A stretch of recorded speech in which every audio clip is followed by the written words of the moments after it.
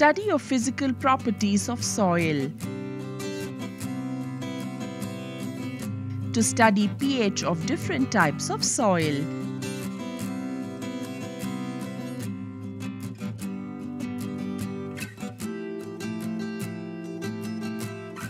Materials required Test tubes Distilled water Roadside soil Garden soil Humus-rich soil Riverside soil Funnel and filter paper Procedure Let's first prepare the soil solution. Take roadside soil from the watch glass and dissolve it into the beaker containing water to make soil solution. Similarly, repeat the same procedure for other soil samples.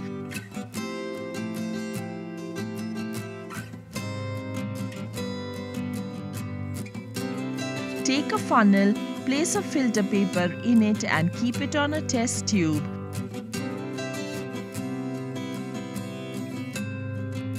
Take roadside soil solution and filter the solution through the filter paper and collect the filtrates in a test tube. Repeat the same procedure for other samples with fresh filter papers.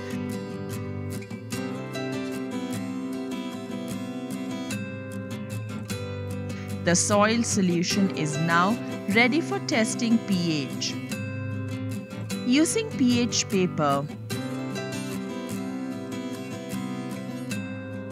Materials required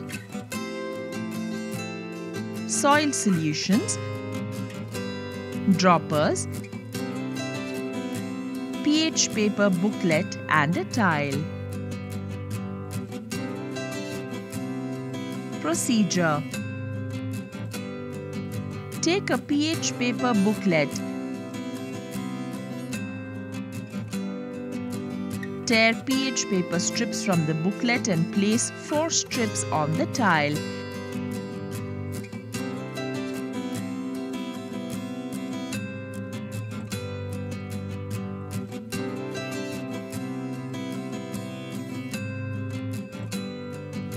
Using a dropper, take some roadside soil solution from the test tube. Put 1 to 2 drops of solution on the first pH strip on the tile. Using fresh droppers, do the same procedure for garden soil, humus-rich and riverside soil.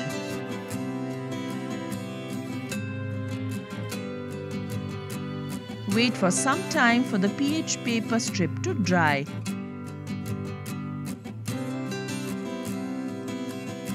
Note the color and compare with the color chart given on the broad range indicator paper and get a rough estimate of pH of the sample solutions. Observations We can observe that the roadside soil has pH 7, garden soil and humus-rich soil have pH 6 and riverside soil has pH 8 using Universal Indicator solution. Materials required. Soil solutions. Dropper. And Universal pH Indicator solution. Procedure. Using a dropper, take some Universal Indicator solution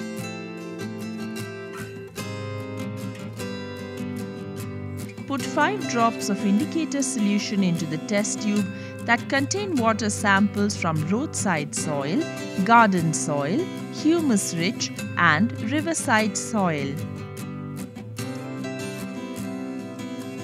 Note the color developed and compare it with the color chart.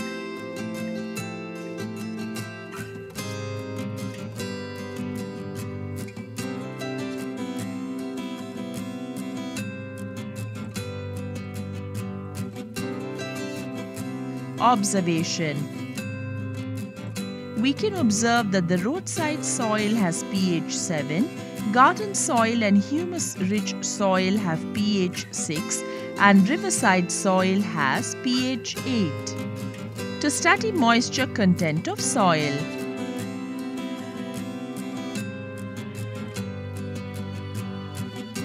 Materials required. Garden soil Crucibles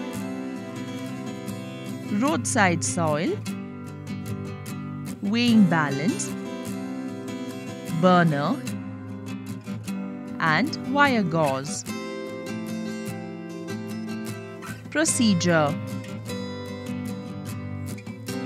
Take watch glass containing garden soil and put it into a crucible. Weigh the crucible with soil sample on a weighing balance. Take crucible and place it over the Bunsen burner. Heat the soil for some time till the soil becomes dry. Weigh the crucible again to record the weight of dry soil. Take watch glass containing roadside soil and put it into a crucible. The crucible with soil sample on a weighing balance.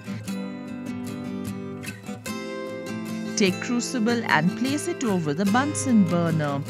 Heat the soil for some time till the soil becomes dry.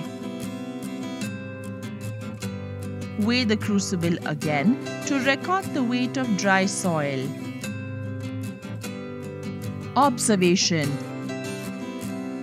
Record the initial and final weights of each sample and the difference between initial and final weights in the form of a table. Conclusion Garden soil shows higher difference between initial and final weight indicating higher moisture content in the garden soil than the roadside soil. Water holding capacity of soil.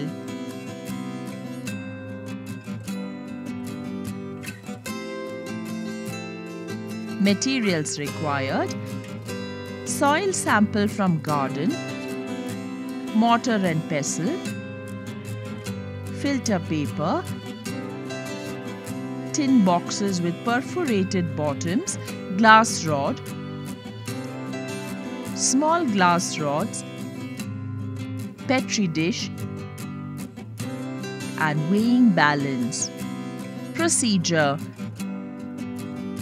Take a watch glass containing garden soil and put it into a mortar. Using a pestle, grind the sample into fine powder. Take a filter paper and place it in the bottom of the tin box. Weigh the tin box along with the filter paper and note its weight. Transfer the fine powdered soil sample into the tin box.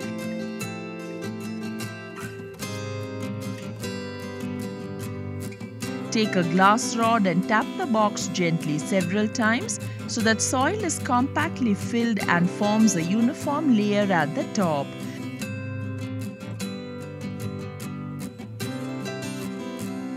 Weigh the tin box along with soil sample and note its weight. Take a petri dish filled with water. Take two small glass rods and place them parallel to and at a small distance from each other. Place the soil-filled tin on the two glass rods in such a manner that its bottom is in contact with water. Leave the setup undisturbed till water appears on the upper surface of the soil.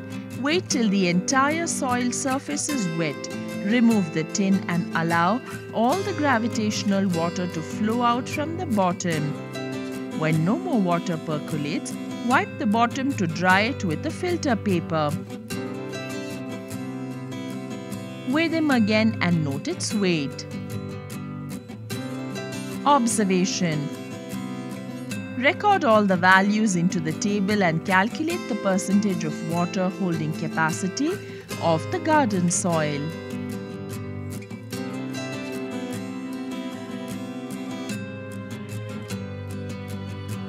Conclusion Garden soil retains more water and thus has higher water holding capacity. To study the texture of the soil,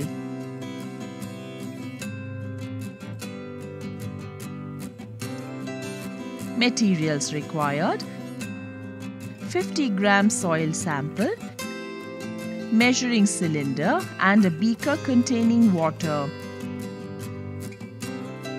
Procedure Take 50 grams of soil sample and put it into a measuring cylinder. Take beaker containing water and pour some water into the measuring cylinder. Shake the measuring cylinder to mix the sample. Allow the soil particles to settle down. Record the thickness of the layers formed by different types of particles in the measuring cylinder. The thickness of clay particles in measuring cylinder is 21%, silt particles is 18% and sand particles is 61%. Using a textural triangle, draw lines corresponding to the percentage of clay, silt and sand. The lines which intersect indicate the soil type we have. Here, the sample soil consists of 21% clay, 61% sand and 18% silt. Hence, the soil type is sandy clay loam.